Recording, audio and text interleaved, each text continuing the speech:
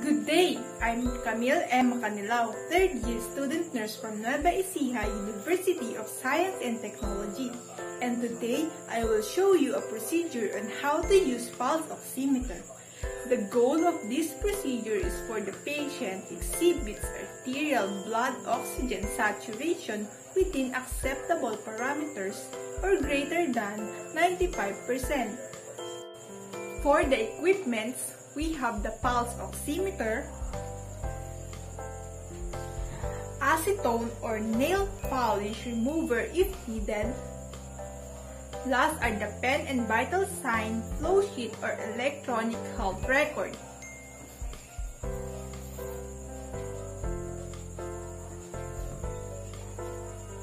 For the implementation, review chart for any health problems that could affect the patient's oxygenation status such as COPD, pneumonia, lung cancer, and asthma.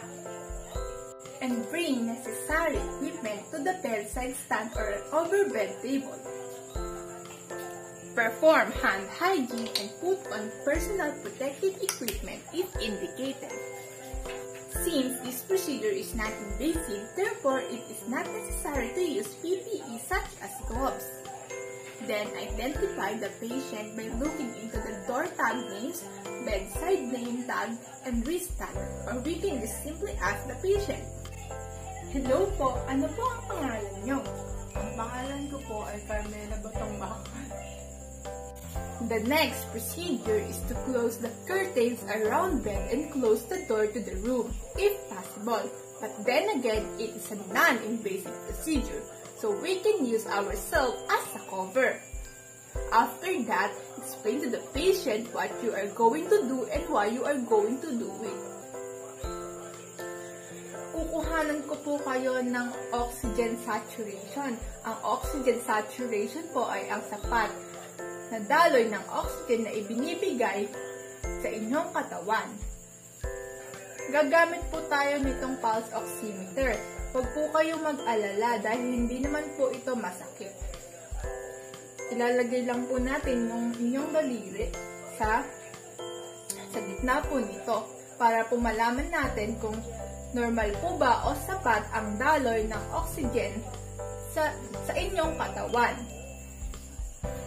Then select an adequate site for application of the sensor.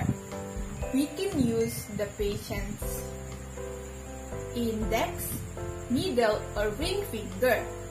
Check the proximal pulse and capillary fill at the pulse closest to the site.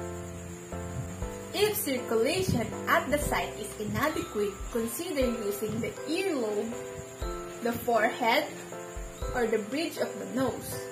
Use a toe only if lower extremity circulation is not compromised. The next step is to select proper equipment. The equipment we will going to use is this pulse oximeter. First is prepare the monitoring site by cleansing the selected area with alcohol wipe or disposable cleansing cloth. Allow the area to dry and if necessary, remove nail polish and artificial nails. Since the patient has no nail polish, we will not use nail polish remover or acetone. Next is to turn on the oximeter.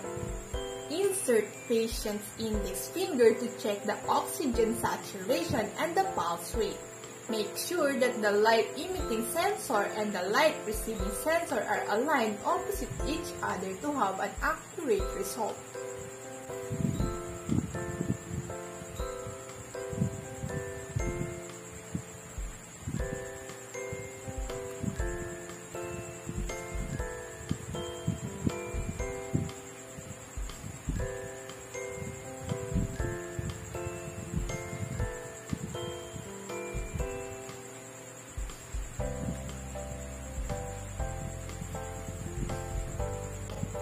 Check oxygen saturation at regular intervals as ordered by primary care provider, nursing assessment, and signaled by alarms.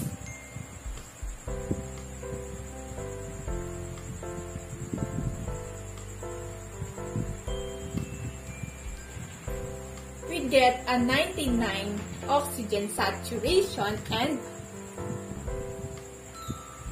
74 pulse rate.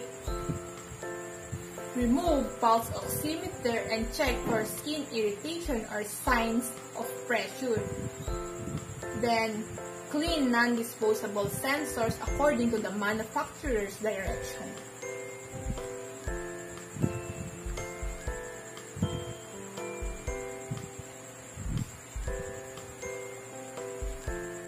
Remove PPE if used. Perform hand hygiene.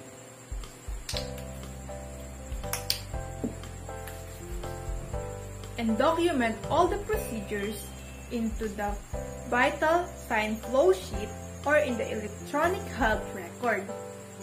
And that's how we use the pulse oximeter. Thank you for watching!